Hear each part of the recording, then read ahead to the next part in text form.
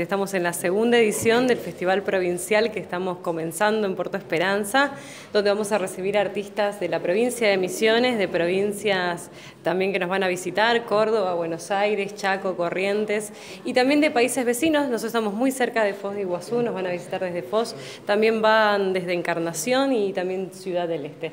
Así que vamos a tener artistas de, todos de todos lados. ¿Con qué se va a encontrar la gente cuando concurra a este festival? Bien, durante los tres días van a tener 17 talleres, ¿sí? talleres de los cuales se dan algunos de manera gratuita, otros tienen cobros pero son económicos. Entonces la idea es también que la gente que va a participar del festival a ver un show también pueda a la vez llevarse, si quiere, el intercambio de conocer a los artistas y conocer su disciplina haciendo un taller. Estos talleres también de alguna manera son importantes para nuestra comunidad porque tenemos muchos jóvenes que se dedican a actividades artísticas y encuentran la manera de profesionalizarse o acercarse al, al trabajo profesional del artista. Vamos a tener y espectáculos en todas las disciplinas, tanto en teatro, en música, danza, cerámica, eh, escultura en vivo. Eh, vamos a hacer intervenciones en distintos espacios naturales, vamos a tener un set en vivo todo el día viernes donde se va a estar filmando y explicando todo el funcionamiento de un set de filmación.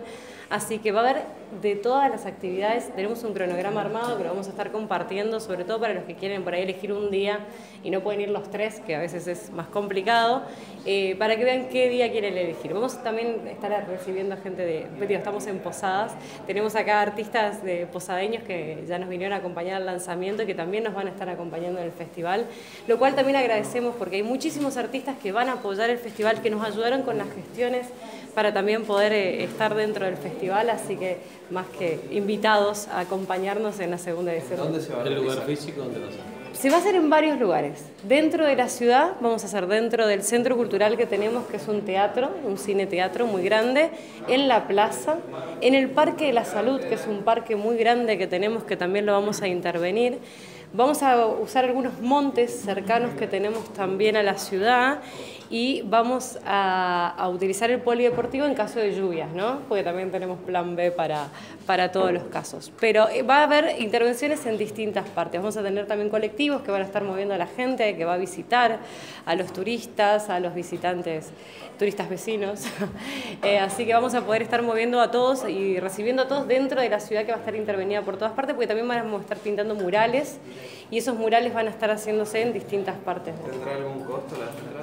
No, no va a haber entradas, excepto en un espectáculo que es un espectáculo de danza eh, que está a 50 pesos la entrada nada más, porque bueno, como fuimos gestionando con los artistas, algunos por ahí eh, no podíamos lograr el cachet, pero sí conseguíamos todo el resto para, para que lleguen, y otros que van a ser a la gorra. Después la mayoría de los espectáculos se ha conseguido el, el intercambio con los artistas y se van a dar de manera gratuita, igual que los talleres. Hace un tiempo me preguntaban por ahí cuáles son los desafíos aún que restan, ¿no? Y creo que uno está relacionado con el otro eh, digo, por un lado, eh, es el análisis de cuál es la escala en que cada municipio puede incorporarse a lo que es el turismo. Digo, hay escala, este, depende de las características del municipio. Lo que está claro es que todos pueden incorporarse. Y una de las estrategias, para aquellos que por ahí este, no, no lo saben, es lo que nosotros decimos mediante una fiesta. Porque la fiesta provincial inicialmente motoriza, por un lado, el empezar a pensar en, qué puede mostrar el pueblo hacia afuera. Y por el otro lado, es plantearse objetivos de cómo ir cualificando la fiesta, es decir, cómo ir dándole un marco de mayor calidad a la fiesta.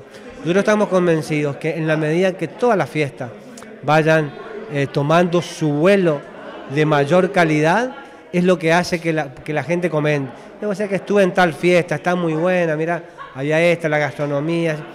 Y es donde eh, bajo la figura que nosotros llamamos por las escapadas, pero es por un lado esto del turismo interno, de que empiece este, a, recorrer las distintas localidades y la fiesta es, ¿no es cierto?, como digo, una de las estrategias a partir del cual los municipios pueden ir incorporándose a esto, que, son los beneficios hoy día de lo que es la actividad turística del interior es una opción también de recreación y demás.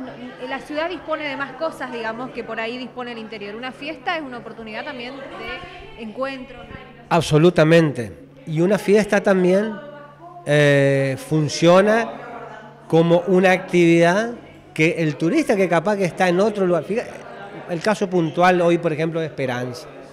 El turista que está en Iguazú tranquilamente dice, ¿y por qué hoy no nos vamos? Me dijeron que hay una fiesta acá unos pocos kilómetros. Digo que funciona como fiesta y un atractivo en sí, pero también como una actividad que se, incorpora a un área geográfica determinada y a partir del cual el turista que está eh, vacacionando, por decir, en otro destino, en, otra, en otro municipio, tiene la posibilidad, ¿no es cierto?, de, asistir y de alguna manera, pues digo, como una diversificación de actividades en una región. Entonces las dos cosas, desde la organización, porque también está demostrado, una vez que, organizan una fiesta, después es como que hay, un, uno dice, una especie de efervescencia creativa en, la misma gente del lugar que se empiezan a plantear nuevos objetivos. ¿Y por qué no le agregamos esto?